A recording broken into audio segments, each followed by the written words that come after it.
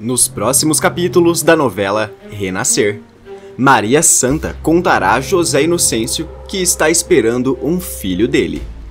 O rapaz se emociona como jamais se emocionou em toda a sua vida e nem imagina o que está prestes a acontecer. Inácia tem uma visão com o parto de Maria Santa e, desesperada, grita: Minha Nossa Senhora! Isso não! Isso não! Senhorzinho, não vai aguentar!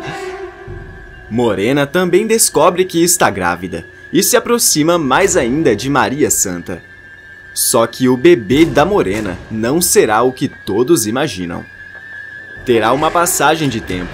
Nove meses depois, a esposa de José Inocêncio entra em trabalho de parto. Morena também começa a ter o filho em outro quarto. Jacutinga se prepara para trazer o filho de Maria Santa ao mundo.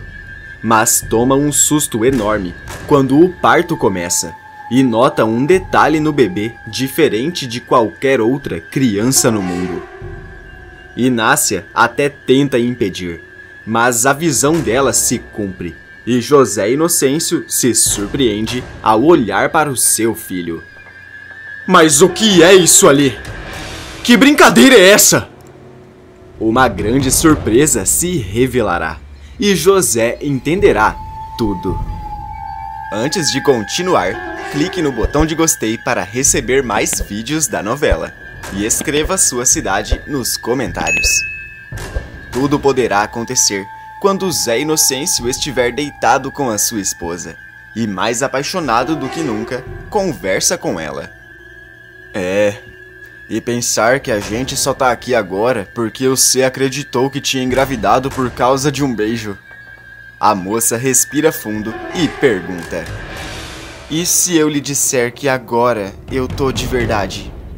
O rapaz responde: Aí eu poderia até acreditar, se fosse o caso. A moça olha no fundo dos olhos dele e responde: Pois eu lhe digo que é o caso.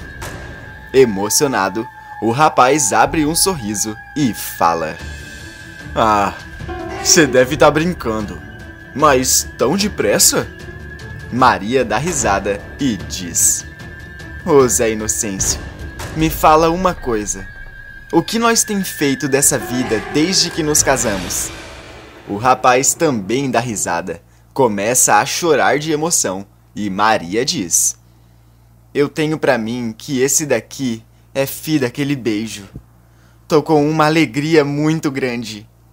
Feliz da vida, o rapaz comemora e fala: Então vamos tomar algumas providências. Eu não quero que o nosso primeiro filho nasça aqui nesse fim de mundo. Eu posso te levar para Ilhéus e até mesmo para Salvador. Tenho dinheiro para isso. A moça o interrompe e fala: Eu não quero nada disso, Zé. Não quero sair daqui.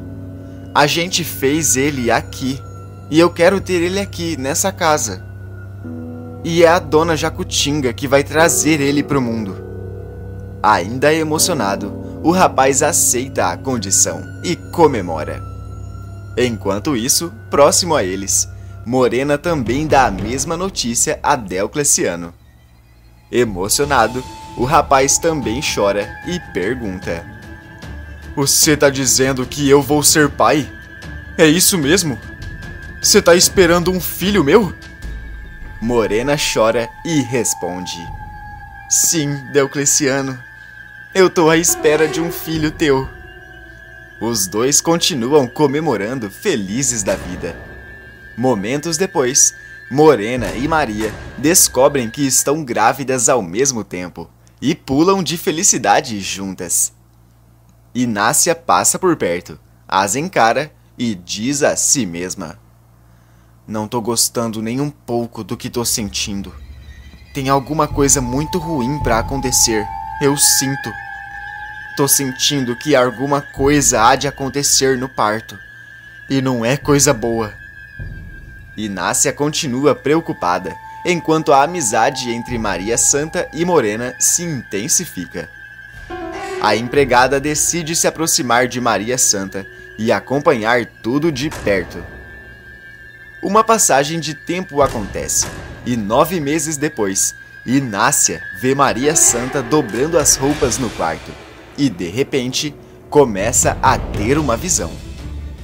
A mulher vê o momento em que a moça entra em trabalho de parto e toma um dos maiores sustos de sua vida ao ver o que a criança tem quando nasce. Pasma, Inácia treme e cochicha consigo mesma. Meu Deus, não é um bebê, não é um bebê, meu pai amado. De repente, Maria Santa sente uma dor muito forte na barriga e começa a gritar desesperadamente: Alguém me ajuda!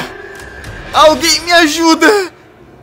Inácia se aproxima na mesma hora e, mais preocupada ainda, diz: Meu pai amado, vai nascer, vai nascer, vai nascer agora! Inácia corre para chamar Jupará e manda ele buscar Jacutinga o quanto antes. Maria Santa é colocada em um dos quartos e Inácia tenta acalmar a moça. Instantes depois, José Inocêncio chega desesperado e pergunta: Cadê a Maria Santa? Fiquei sabendo que ela vai dar à luz. Cadê a minha mulher? O rapaz tenta avançar em direção ao quarto, mas Inácia entra na frente e avisa.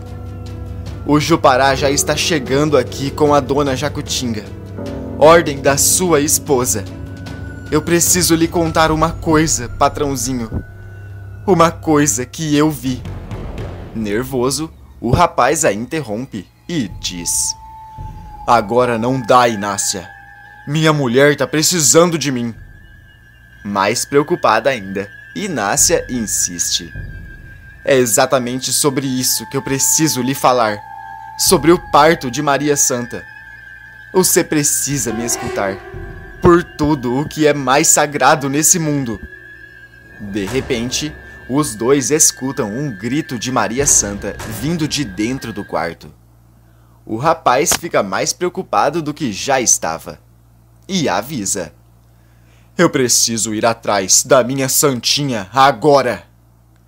Jacutinga chega junto com Jupará na mesma hora. E avisa: Você vai ficar aqui do lado de fora, Zé Inocêncio, esperando as minhas ordens para se eu precisar de algo. O rapaz não dá ouvidos para o que escuta e avisa: Se você acha que eu vou deixar a minha mulher sozinha, você tá muito enganada, Jacutinga. Jacutinga o interrompe e avisa: Maria Santa não vai estar tá sozinha. Eu vou estar lá do lado dela. Jacutinga dá as costas e corre até o quarto para ver como Maria Santa está.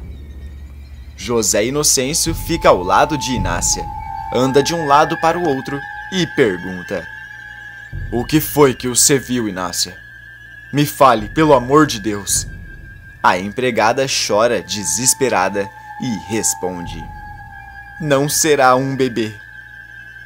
Quando escuta aquilo, o rapaz fica mais preocupado do que já estava. Encara a mulher no fundo dos olhos e questiona: O que foi que você disse, Inácia? Como assim não vai ser um bebê? Você tem noção de que tá falando do meu filho, não é?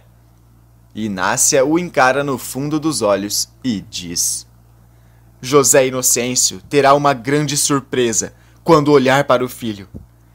Se é que ele pode ser chamado assim mesmo.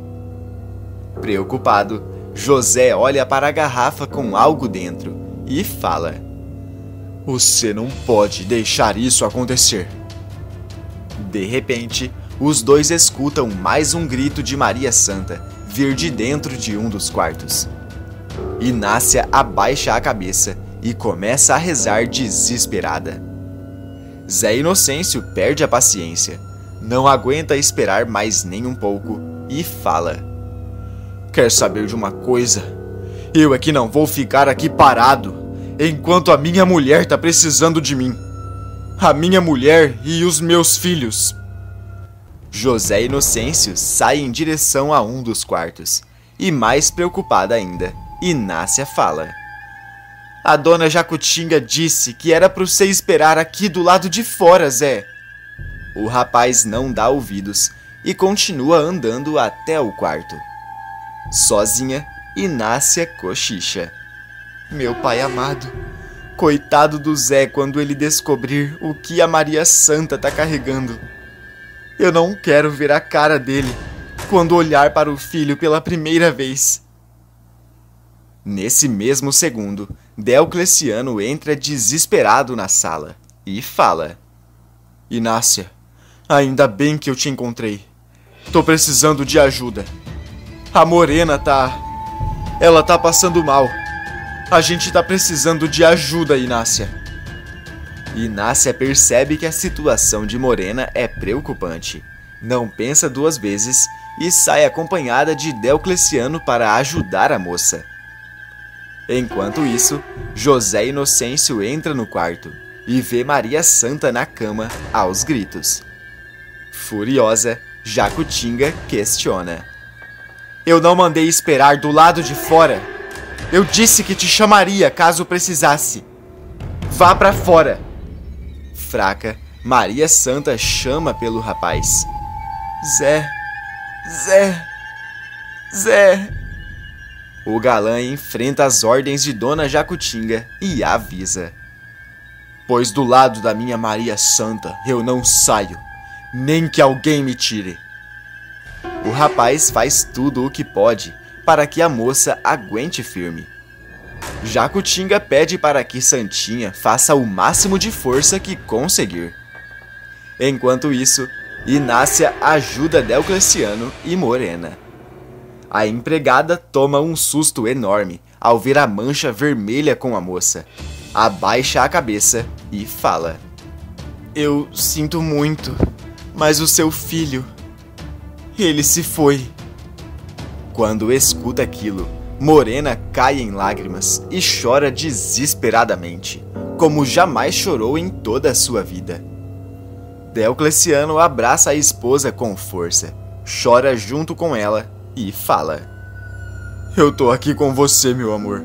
Eu tô aqui. Nós vamos passar por essa juntos. Confia em mim. Confia no que eu tô te falando. Morena continua chorando desesperada e fala: Isso é um pesadelo. O pior pesadelo que eu já tive na minha vida. E agora? E agora? O nosso filho. Eu quero meu filho. Deocleciano, eu quero o nosso filho. Não, não, não. Outra vez, Deocleciano a abraça, chora mais ainda e tenta consolar a esposa. Enquanto isso, dentro de um dos quartos da fazenda, Dona Jacutinga continua fazendo tudo o que pode no parto de Maria Santa. José Inocêncio continua segurando a mão de sua esposa, e mais fraca do que já estava, a moça diz: Eu não vou aguentar. Eu não vou aguentar. Não tô aguentando. Alguém me ajude. Jacutinga pede. Só mais um pouquinho. Só mais um pouquinho. De repente, todos escutam o choro de um bebê. José Inocêncio arregala os olhos incrédulo e fala: Nasceu. O nosso filho nasceu, meu amor. Nosso menino nasceu, Maria Santa. Jacutinga olha para o bebê, nota um detalhe que jamais havia visto em toda a sua vida e toma um susto enorme com o que vê. Pasma, ela diz: Não pode ser. Não pode ser. José se aproxima preocupado e pergunta: O que tem com o meu filho, Jacutinga? O que tem com ele? O rapaz pega o filho no colo Jacutinga olha para Maria Santa e, mais em choque ainda, diz: Meu Deus, tá vindo mais um. Tá vindo mais um, Zé. Mesmo fraca, Maria Santa continua forçando o máximo que pode. Zé Inocêncio leva o bebê para fora e nota o detalhe que Jacutinga havia visto. Pasmo e de queixo caído, José Inocêncio olha atentamente para o menino e fala: Meu filho, então é isso? Esse é o detalhe que a Inácia tinha visto? Você nasceu sem os dedos do pé. De repente, o rapaz continua escutando os gritos de Maria Santa. Entrega o seu filho para Inácia cuidar e volta correndo até o quarto. Assim que ele entra, Jacutinga avisa: Tá nascendo, Zé. Tá nascendo o seu segundo filho. Maria Santa continua forçando o máximo que pode. E de repente, todos escutam o choro de um bebê outra vez. Novamente, Jacutinga percebe um detalhe no segundo filho e alerta José. O fazendeiro leva o bebê até o lado de fora outra vez e também nota um detalhe nele. Em choque, Zé Inocêncio arregala os olhos e questiona: Você não escuta, meu filho? Seu detalhe é esse? Nascer sem escutar. José Inocêncio volta para o quarto e a dona Jacutinga avisa que o terceiro filho também nasceu com um detalhe. Zé Inocêncio vê que o terceiro filho dele e de Maria Santa nasceu com um dedo a mais e também se surpreende. Momentos depois, ele volta e o quarto filho nasce perfeitinho, do jeito que é para ser. Maria Santa fecha os olhos e, mais fraca ainda, diz: Eu sinto muito. Eu tentei. Eu não consegui. José Inocêncio se desespera mais ainda e grita: Não, não, não! Minha Santinha! Meu amor! Minha Maria Santa! Você precisa aguentar firme, meu amor! Você precisa aguentar! Jacutinga vê que Maria Santa não está mais viva, chora mais ainda e abraça o rapaz enquanto fala: A Santinha se foi, Zé mas ela deixou quatro presentes e eu vou estar aqui para te ajudar. O rapaz continua chorando e fala: Eu vou te amar para sempre, minha santinha. Para sempre. Você acha que a Maria Santa e o José Inocêncio deveriam ficar juntos até o final da novela? Coloque sua resposta nos comentários. Tá aparecendo para você mais um vídeo surpreendente da novela. Clique nele para assistir. Inscreva-se no canal para receber todos os dias novidades depois da novela.